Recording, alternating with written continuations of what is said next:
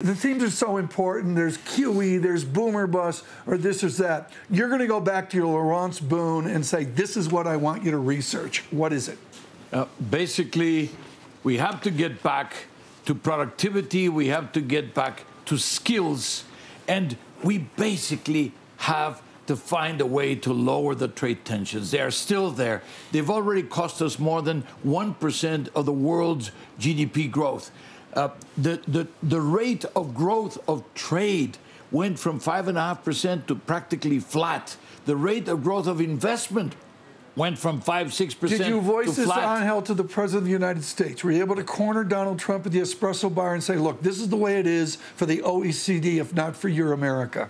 We have said it in so many ways, written it, we've insisted, we published it, and basically saying the trade tensions are causing disruption. Why? Because they're causing uncertainty. Uncertainty kills investment. Investment, of course, is the seed of the growth of tomorrow. So basically, by by creating the trade tensions, you uh, kill the investment, you kill the growth. This of, is what has happened. How much of a headache is this? Does the U.S. and in particular, does the U.S. administration think that actually tariffs work, and will they use them against Europe? Uh, well, first of all, uh, I hope that they don't use them against Europe, and I think there's when there's a will, there's a way. And yesterday we found a way.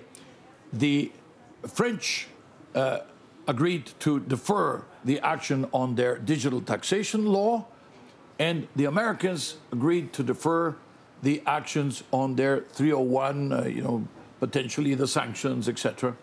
Uh, because it was not just a question against French champagne or French wine, it was a European right. against the United States issue eventually. So, and what happened? They both agreed that they would give multilateral solutions a chance. That means to the OECD the mandate to work on a final solution on digital taxation. So but Europe can't come together. So how can the OECD come together on this? Well, because we have 137 countries working on this solution, it's not just Europe. Yeah. And by that the way, sounds like a nightmare. We had pretty strong support from practically every European country, and the U.S. have been participating rather uh, enthusiastically. Why? Because there are a number of elements of the package that we're proposing on digital taxation that are very akin to the uh, to the tax reform that was uh, done in the United States a couple of years ago. So you think you'll be able to broker a deal the, in, in, in the time that has, is Francine, the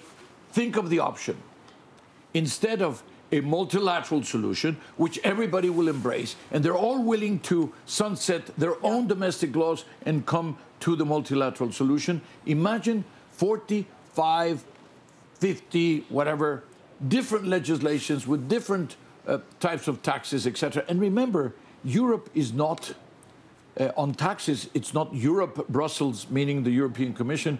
Every, it's every country uh, on its own. So I think that the alternative is so disruptive that they will all be trying very hard to get a deal. Within the, bureau- the bureaucracy of the OECD, do you have a mercantile division? I mean, are we back to mercantilism here? Every every nation we have for a itself? trade uh, division. Uh, we have a trade directorate, and we also have a director that deals with uh, enterprise and financial affairs. So yes, the answer is yes. But where's the? You're the great student of this. You taught at Monterey years ago. This is really important. Are we back to not multilateral, not back to bilateral, trilateral? Are we back to a mercantilistic, every nation for itself? That's what I heard from the president when he gave that press conference here. How are we going to deal with things like international trade if not multilaterally? How are we going to deal with international investment flows if not multilaterally? How do we deal with migration flows if not multilaterally? How do you deal with things like climate change Are you, are you predicting that the President of the United States policies will impinge on U.S. Multi, uh, multinational investment? Is he going to limit the investment of Johnson & Johnson abroad? it is already having an impact, lowering the rate of growth of the United States, just like it is having an impact on China. So already we know the cost of uh, these trade tensions. Uh, they impinge directly on uh, the well. uh, they create uncertainty. They create they create uh, you know uh, lower growth. They create lower jobs. So if we know the consequences, you know, and we know that there are better options, let's go in that direction. But have we reached peak multilateralism? Does it just go down from here? No, uh, you never reach peak multilateralism. Actually, I would say that today uh, we have to uh, defend multilateralism. We have to prove that this is the way, because otherwise uh, there's going to be a lot of pressure against multilateralism. There already is, and uh, we're trying to push it back.